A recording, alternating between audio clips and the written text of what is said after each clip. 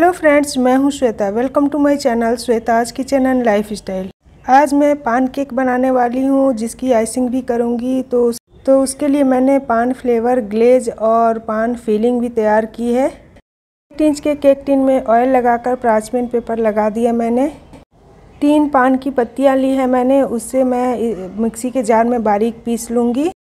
Cake में डालने के लिए टू थर्ड कप मैंने मिल्क लिया है, उसी में से थोड़ा सा मैं इसमें डाल रही हूँ। इसी तरीके से बारीक कर लेना है। हाफ़ कप मैंने यहाँ रिफाइंड ऑयल लिया है, अनफ्लेवर्ड। हाफ़ कप गाढ़ी दही लेनी है। टू थर्ड कप मैंने पिसी हुई चीनी ली है। इन तीनों को मैं हैंड ब्लेंडर से अच्छी तरीके से ब्लेंड कर लूँगी जब तक कि ये स्मूथ ना हो जाए। ये देखने में थोड़ा लाइट और फ्लफ़ी हो जाएगा। अब मैं इसमें half teaspoon baking powder और one fourth teaspoon baking soda डालकर इसे भी मिक्स कर लूँगी। मिक्स करने के बाद मैं इसे पाँच मिनट के लिए साइड में छोड़ दूँगी, इसमें बबल आने लगेंगे। अब मैं सूखी सामग्री को एक जगह छान लूँगी। वन एंड हाफ़ कप मैंने मैदा लिया है। साथ ही मैंने टू टेबल स्पून कॉर्नफ्लोर लिया है। वन टेबल स्पून मैं मिल्क पाउडर ले रही हूँ, जो कि ऑप्शनल है। एक से दो बार इसे छान लूँगी। अब मैं आधे सूखी सामग्री को इस मिक्सचर में डाल दूँगी और इसमें थोड़ा सा मिल्क भी साथ में डालूँगी। टू थर्ड कप मैंने यहाँ मिल्क लिया था। मैदे के ऊपर डिपेंड करता है। टू टेबल स्पून के करीब मुझे और मिल्क लगा था। मैदे और दूध को दो बार में मैंने डाला है। पान को बारीक मैंने पीस लिया था। उसे अब मैं इसमें पूरा डाल दूँगी। साथ ही मैं इसमें लीफ ग्रीन कलर डाल रही हूँ, ये भी ऑप्शनल है।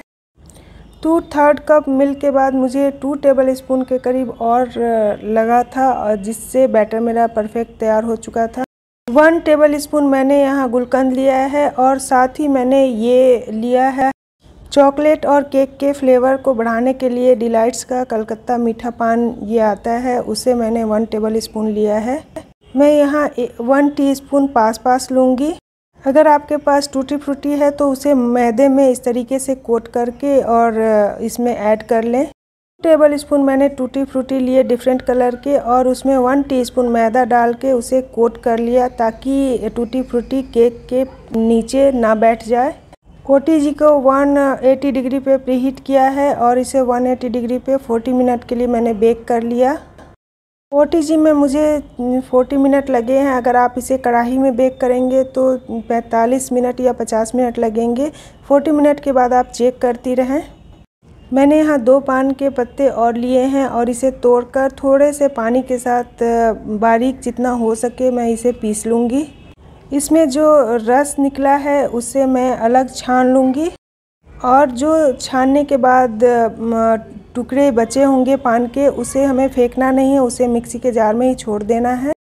टू टेबल स्पून मैं न्यूट्रल ग्लेज लूँगी।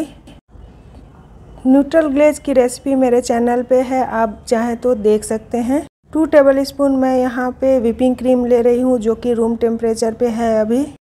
इसमें मैं ये पान का जूस जो मैंने निकाला था, वो डाल दूँगी। इसे अच्छी तरीके से मिक्स करने के बाद इसमें वन या टू ड्रॉप कलर डाल दूँगी ताकि इसमें कलर आ जाए लीफ का। इसे भी मिक्स कर लूँगी और आप देख सकते हैं कितना परफेक्ट कलर आया है। पान फ्लेवर ग्लेस तैयार है।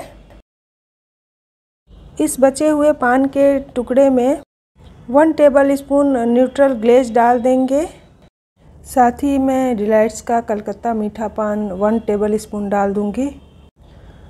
थोड़ा ज़्यादा कम होने से कोई फ़र्क नहीं पड़ेगा। वन टेबल स्पून या one and half tablespoon डाल सकते हैं। वन टेबल स्पून मैंने गुलकंद डाल दिया है और वन टेबल स्पून के बराबर मैं इसमें पानी डाल दूँगी।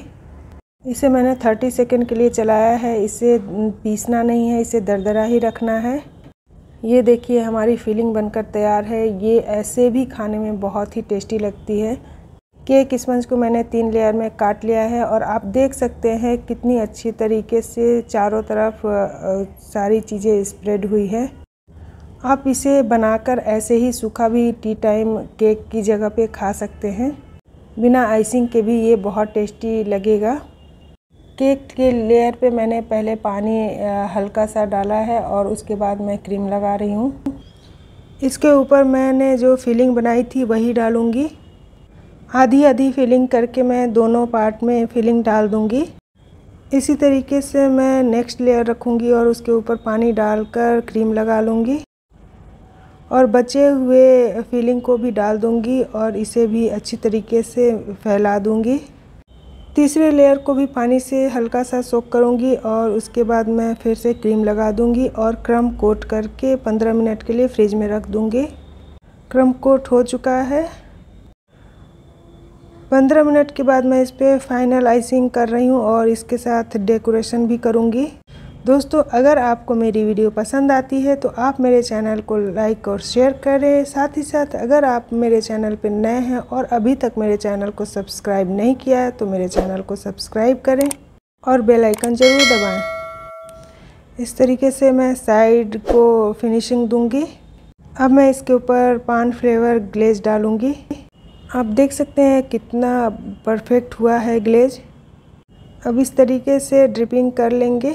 पान फ्लेवर ग्लेज या फिर पान फ्लेवर फिलिंग के लिए आपको मार्केट जाने की बिल्कुल ज़रूरत नहीं, आप इस तरीके से बना सकते हैं। अब इसके ऊपर आप अपने हिसाब से कोई भी डेकोरेशन कर सकते हैं। मैं इस तरीके से रोज़ बनाकर इसके ऊपर रखूँगी। ग्लेज डालने के बाद आप 10 से 15 मिनट के लिए इसे सेट होने के लिए फ्रिज में रख दें और उसके बाद इसके ऊपर डेकोरेशन करें। पान फ्लेवर केक बहुत ही रिफ़्रेशिंग होता है और बहुत ही टेस्टी बनता है। आप भी इसे ज़रूर एक बार ट्राई करें। आप अगर आइसिंग ना भी करना चाहें तो इसे इस टी टाइम केक के रूप में आप खा सकते हैं। बहुत ही टेस्टी लगेगा। दोस्तों, इसे मैंने डेकोरेट कर दिया है और इसके ऊपर एक मीठा पान भी मैंने रख दिया है। अब मैं इसे आपको काट कर दिखाती हूँ कि ये कितना सॉफ्ट बना है। आप भी इस केक को बनाइए और मुझे कमेंट कीजिए कि आपका केक कैसा बना है। Thank you.